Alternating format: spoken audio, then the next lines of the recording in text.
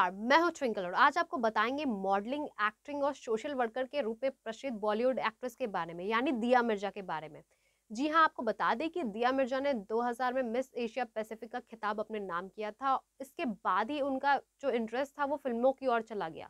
तो आपको बताते हैं कि दिया मिर्ज़ा ने अपने बॉलीवुड में करियर की शुरुआत रहना है, तेरे दिल की फ़िल्म के ज़रिए की थी। इसके साथ ही आपको बता दें कि फ़िल्म फेयर अवार्ड्स में दिया मिर्ज़ा को वुमेन ऑफ़ स्टाइल और सब्सटेंस के लिए सम्मानित किया गया है।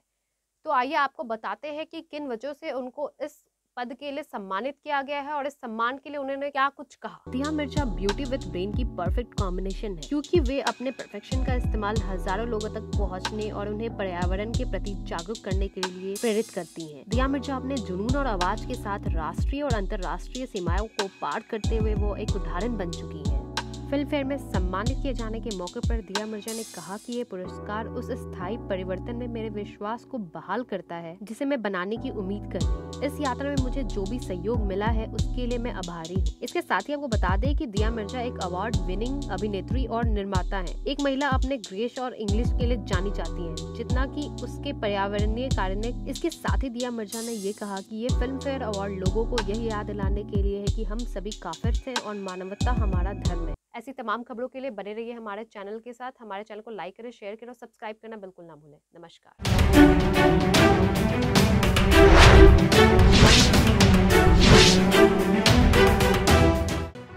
लेटेस्ट खबरों से जुड़े रहने के लिए हमारे चैनल नेशन भारत को सब्सक्राइब करें और बेल आइकन को दबाएँ ताकि कोई खबर छूट न पाए।